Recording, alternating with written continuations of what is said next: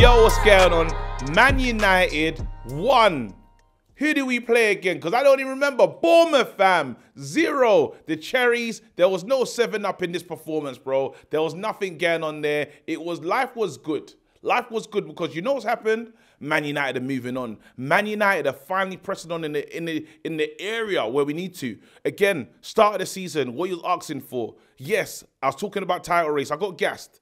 Yeah. But deep down, the main thing that you need to do is cons- wait, consolidate your position. Yeah. Top four means everything.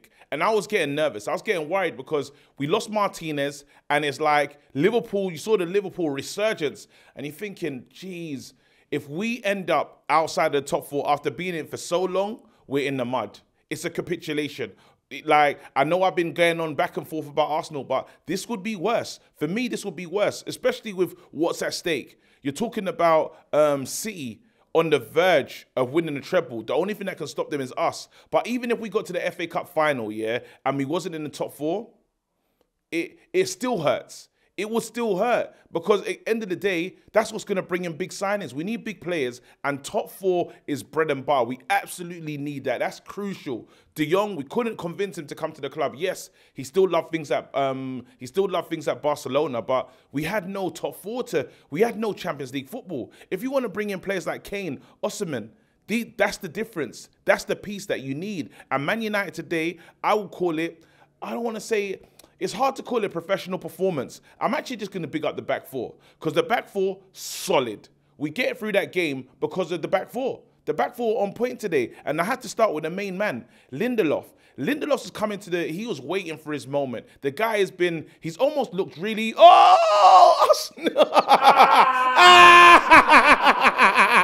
ah! hands. It's in our hands. We got bigger fish to fry. Àwọn ní ẹ. Àwọn ní. Àwọn ní. Àwọn ní. Àwọn ní ẹ. Àwọn ní. Oh man, you see my life. We're gonna win the league. We're gonna win the league. Hey, see my life, yeah? No, because they live rent free for me, yeah? And I feel God just says, Keji, have this. you can have it. While you are doing your fan cam, just take this go. Aye. anyway, oh man, no. All right, focus, focus, KG. Again, that's nothing, that's now things. But we move. We talk about what Man United are doing and what Man United need to do. Again, is we need to just get through. We need to get through, and we're doing it. And you know, we can we can bring in the big players. That's what it's all about. Yes, we still don't have an owner. We don't know where we're going, but today's result was huge. And that's it. I wanted to talk about Lindelof. Lindelof has been rock solid. Lindelof's not doing what they just did over there. It's not happening. Lindelof is absolutely, he waited for his moment. That's the point I was making. He waited for his moment. He was playing with what? Maguire. And Maguire, I don't want to rinse Maguire, but he didn't make him, he didn't cover him in the best light. And you're looking at Lindelof thinking, is he good enough? Well, Absolutely. Lindelof has got what it takes. Lindelof can be the difference. Has he has it, oh, he has it in him. And now we're seeing it. We, we can now say that he's a solid. Can you even is he a backup? It's mad because he's moving like a first choice. If we're if we're real, like when you say what you want from a centre back, be solid, be good in the ball, and again, nothing can pass them. And you know what? Like, have just a this IQ. In-game IQ has been fantastic. Some people question, can he do it against Haaland? Again, I'm not going to say that he's next level, but if he has to play against Haaland, there's something in there. He could do a job. Kim Min Jae, if he does come to this club, it's not guaranteed. These guys now need to see that he's a real, like, he's a he's a real guy to be in this team. We we dropped the captain of this club and started Lindelof. That just that speaks volumes. Again, Luke Shaw was in the form of his life, but the, the manager has brought faith back in the centre back and said, You're my guy. You're the guy that I can rely on till the end of the season. And fantastic. And Lindelof, well done, man. Big shout out to you. Again, another player, Luke Shaw, come on leaps and bounds. You're talking about when you want to give out like most improved player, there's three nominees for me. Three absolute incredible nominees. You're giving Rashford's one of them. Yeah. The next one I'd have to say is Luke Shaw, Wan-Bissaka. Those are my three for like in terms of most improved. Now for for what Luke Shaw's offering is, yes, he was always kind of decent. But I never looked at Luke Shaw as a senior pro at this club. Yes, he's been here for a long time, but I never saw it. I never saw how he acted, how he even down to interviews, everything that he's doing now is showing that he knows who, that, bro, you like you've been in this dressing room the longest. They need to listen to you. And they need to respect you, and we're seeing that now. We can call on him when he said to the manager, "I can play this game. I'll play wherever you want me to, boss." Those are the. That's the difference. That's the piece. I'm I'm loving life at the moment, looking at Lindelof in this team, and you, you again, he's someone else that can fit in as a left back, but I mean, fit in as a centre back, but. Psh, we ain't got nothing else. When you talk about left backs, when I thought he was injured today, I was really nervous because a lot happens on the left hand side. He's so vital to the way we play football. He has to stay fit to the end of the season.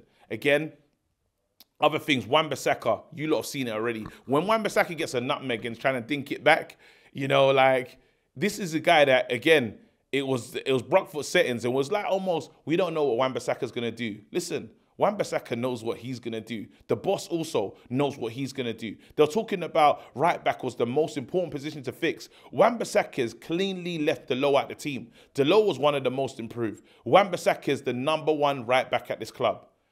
Imagine. I'm comfortable. If we go into next season without a right back, I'm fine.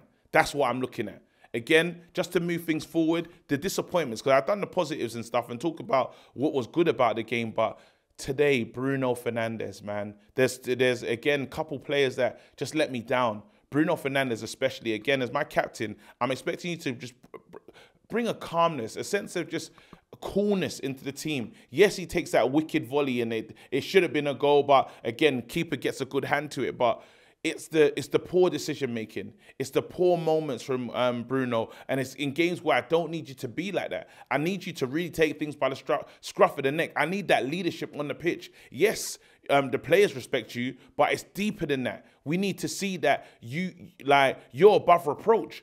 Like no one should be able to look at you and say, "Look what you did," because you're apt you're moving perfect in the game, and it's below standards. It is below standards for your level. It's below standards. Another player that I need to talk about, Jadon Sancho. Now I'm gonna hold on. I'm gonna give him one season. I had a funny conversation with Josh though, and he said you have to remember that the club that you support and what your managers got rid of in the past. Jaap Stam, he's got rid of great players. Roy Keane, he's got rid of. There's great Beckham like really good players. If you're not cutting the if you're not cutting the like I don't know uh, what's the cut the gravy, cutting the mustard, you can't be here, right? You can't be here. And I'm not saying that it's time for Sancho to go, but next season is crucial. And today it was almost unforgivable.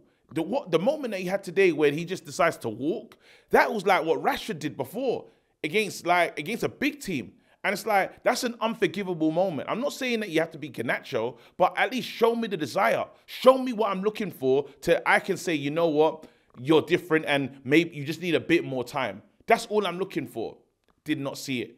Um, oh man, there's there's more pieces to talk about actually. There's another something else bothered me today. Something else got on my nerves. Oh man, I got Sancho and Bruno out there, but Martial. That's it. Last guy, Martial. I don't know what happened between Martial and the manager for the manager to take him off today. We saw Mr. Giddy up, man like Weghorst. We saw him come on the pitch, and I was like, okay, interesting. But Martial did not look happy about it. I heard he walked straight down the tunnel, but then I'm being told that he went back onto the bench. So again, I think maybe it's just one of those ones where you know you get sent, you get taken off, and you don't feel that you're the worst player in the pitch, so it showed in his face. I think Erik Ten Hag has stood by Martial, so Martial's just got to eat that one and hold that one. It is what it is, but we need more from him. We do need a bit more, like just some invention and just taking our time. But anyway, again, a lot to talk about, but Man United kick on. We need a draw, and it's done. We'll see what happens. Big up, stay blessed. Come on, champions.